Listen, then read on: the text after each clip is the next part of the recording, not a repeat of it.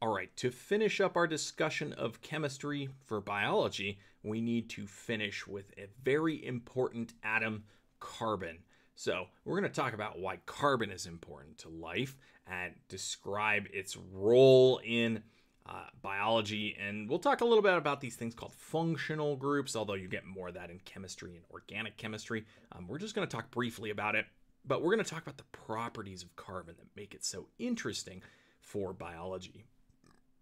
All right, so carbon has many forms that we might find it in. You might like some of these more than others. Uh, we have something like coal, which is carbon. We have carbon fibers, which I find really interesting, right? Like you can add resin to them and form them into these very strong, uh, rigid shapes. You might be interested in diamonds. Those are crystallized carbon uh, from heat and pressure. Um, but we're going to talk about carbon in the context of biology. And when we talk about biology, we are talking about organic molecules. Okay, right, so if you put in organic into Google image search, here's what you get. The term organic has been uh, changed, I guess, or uh, co op now means healthy and great and stuff like that, right? Wrong. Not in chemistry, okay? Organic in chemistry means something completely different. It does not have to do with how your food is grown. Um, and that it only has nitrogen based fertilizers from uh, plant material or animal material, things like that. Uh, the definition of organic farming a little tricky, um, and whether it actually means much is debatable. Um, but uh, that is beside the point. Let's talk about the chemical definition of organic. Um, so, like when you go take organic chemistry, uh, we'll know what we're talking about. So, let's talk about what some organic compounds actually are. Well, Here's some organic compounds paper, which is made up of this thing called cellulose. Nail polish, that's an organic compound. It's got nitrocellulose butyl acetate in there. Candles, made with wax or tallow, those are organic compounds. And a lot of organic compounds have the property that they will burn. Uh, fabrics, cellulose, something synthetic like nylon is an organic compound, rayon. Soaps, Gasoline is an organic compound, and yes, we are indeed organic compounds as well. Uh, we are made up of a large portion of organic compounds in here. Many of them are hydrocarbons, um, just like gasoline, okay? We're going to talk about why that's really important in a moment. So let's get the definition here. Organic molecules contain carbon atoms. Okay, that's that's the definition here. Um, that's what organic chemistry is all about. It's about carbon and how it can bond. And carbon can form so many different molecular shapes. Okay.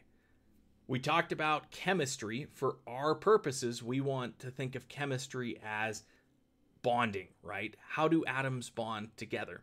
Well, carbon, as we said, is super cool because it's got four valence electrons.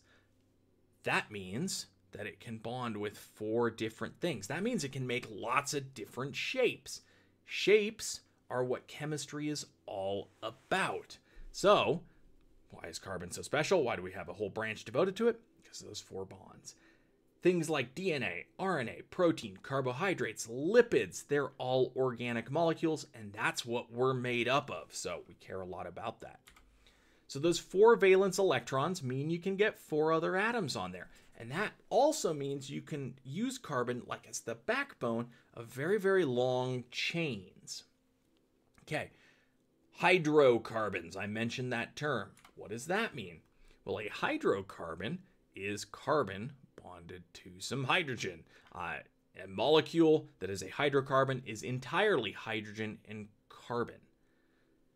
Right, remember back to the first part of this chapter, I said each chemical bond so here we have a carbon bonded to four hydrogens. Each chemical bond is stored energy. What happens when you break bonds? You release that energy. So here we have CH4, our simplest hydrocarbon, methane. What happens when uh, methane uh, releases energy? It will burn. Okay. Interesting right? If you want to create power from methane or uh, cook something with it, that's super useful. How does that impact our bodies? We'll get there. Um, one second. Let's talk a little bit more about some cool things. Um, so, oftentimes, hydrocarbons and other organic compounds can form ring structures. Okay, it's not important to know the names of these things or anything like that. Um, and not all of these are technically hydrocarbons. Here you can see nitrogen is in there. Um, so, and down here we have things that aren't hydrocarbons either. But I mention these ring structures because there's several substances that we know of called alkaloids that they have very interesting properties and they all have these ring structures. For whatever reason, these ring structures tend to interact with our brain chemistry. So here is caffeine. You can see these two rings. Here's another interesting alkaloid, cocaine, that also interacts with our brain chemistry. Uh, nicotine, um, other things uh, that have these ring structures, alkaloids, they are um, interactive with our brain chemistry. Now, that's not what they actually evolve for. Things like nicotine uh, are plant compounds. They, tobacco makes high levels of nicotine. Uh, it's actually a substance that evolved to kill bugs that were trying to eat it. It just happens to interact with our brain chemistry differently. If you took enough of it, you would also die, but you're much bigger than a bug, so you'd have to ingest a lot of it. Um, so, this is an interesting thing where uh, we often find uses for things uh, that aren't what they actually evolved for, and we steal them from nature. All right, so uh, we can have these ring structures. They're cool. They they provide different properties.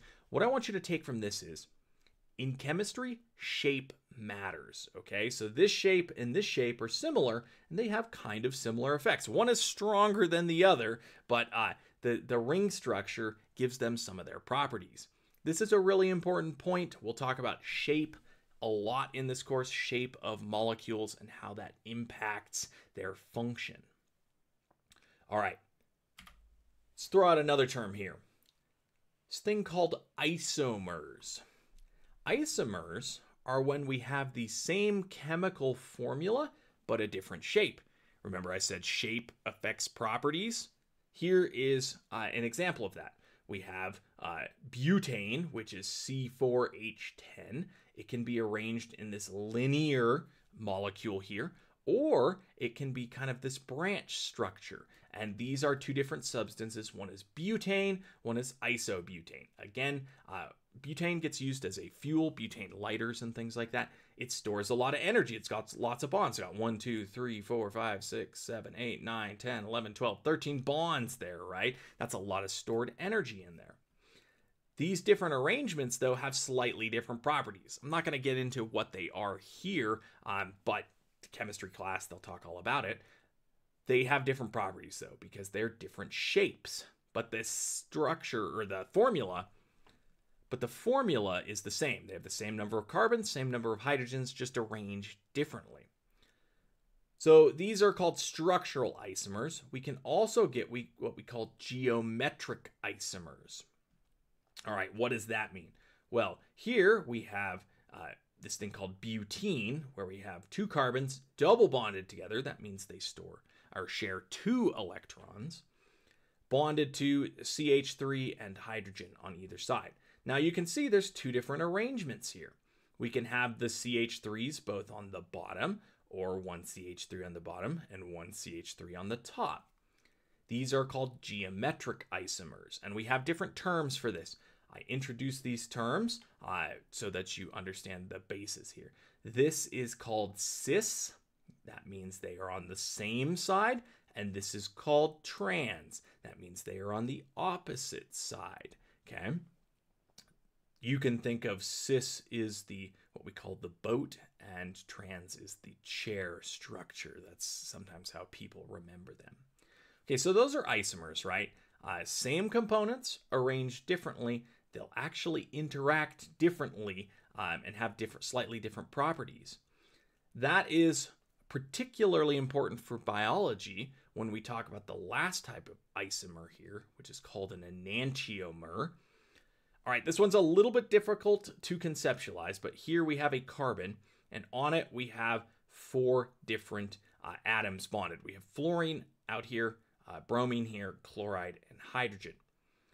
Okay, the this is what we call the L configuration, and here we have the D configuration. So here we have the bromine here, and uh, we uh, then can flip this around, and we have the uh, different configuration here um, that gives us the uh, D isomer.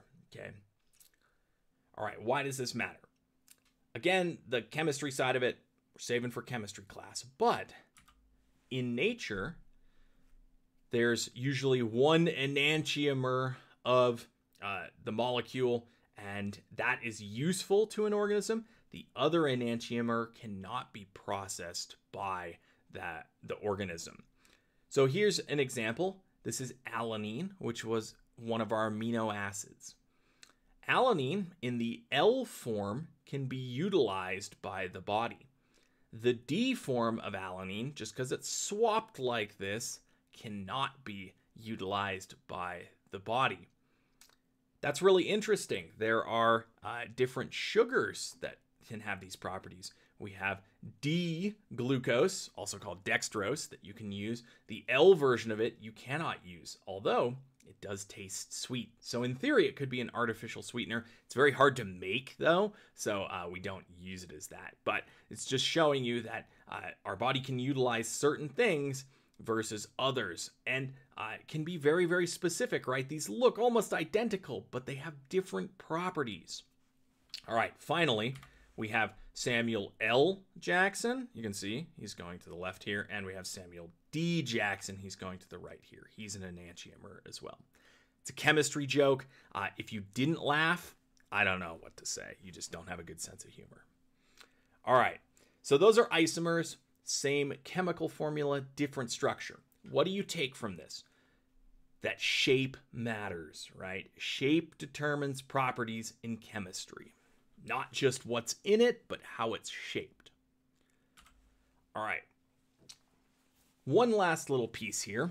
Again, you'll get more of this in organic chemistry, and if you go on to 400 level biochemistry, they'll make you memorize these things. Do not memorize these. I just want to show you that there are kind of some common themes here. We call these functional groups. Uh, different functional groups give molecules shared properties. So if you tack a methyl group onto the end of a molecule, uh, it will have certain properties. Might be slightly nonpolar then. If you tack a hydroxyl, which is OH, onto the end of something, it might make it polar. Here are two things with hydroxyl groups in them. This is isopropyl alcohol. It's rubbing alcohol. It has the OH structured right here. This is ethyl alcohol. This is the alcohol that you can drink.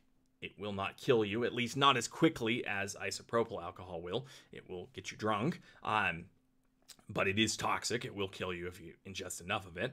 It has a hydroxyl group, but it is structured differently. Both have hydroxyl groups, both are alcohols. They have similar properties. They're both alcohols, um, and they have related properties to them because of this hydroxyl group. There's other functional groups like the amino group. Every amino acid has one of these on it. Phosphate groups are important. Sulfhydryl, um, carbonyl, um, carboxyl. Uh, don't worry about memorizing this. Um, I just want you to think about these, that there are different little motifs or things that we can tack on to molecules that will give them similar properties here. We call those functional groups. All right, so that's a lot of stuff, right? Let's uh, tie it together to some like grounded stuff, and we will come back to this in this course. I want to introduce to you why we're pointing out all these things from chemistry. Well, here's a phosphate group on this DNA molecule. That'll be really important when we talk about the structure of DNA. Uh, here we have the double helix. So here's uh, our 3D model, right? You can see it's kind of like a twisted ladder.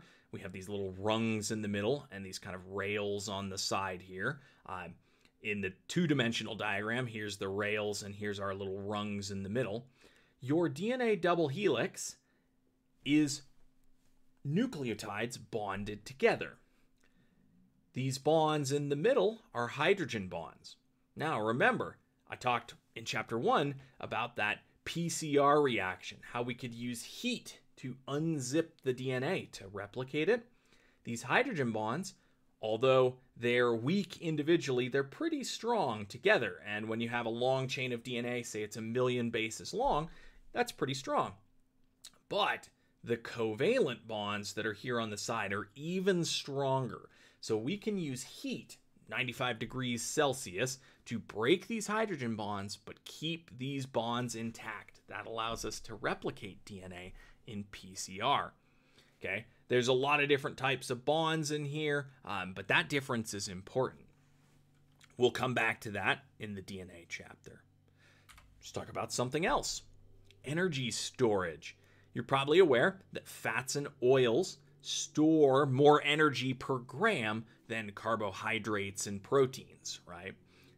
That is because of the number of bonds that are in there uh, and the amount of energy that they store. So here we have some examples of what we call fatty acids. These are lipids. Um, they have lots of carbons and hydrogens and lots of bonds in here.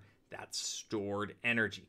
Lots of bonds, lots of stored energy. That means fats and oils are great for energy storage. Uh, we'll talk about the difference between fats and oils in uh, our macromolecules chapter.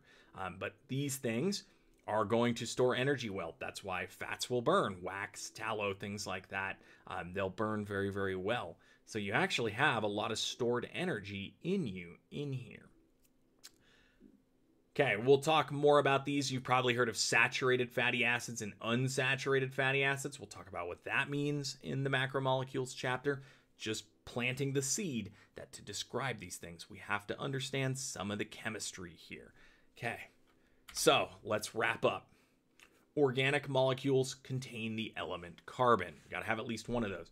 But carbon is super cool because it can form up to four bonds. So you can get all kinds of different shapes and structures and long chains. Remember, shape dictates properties. Can easily covalently bond with the main components of life, as we said hydrogen, oxygen, nitrogen. Okay.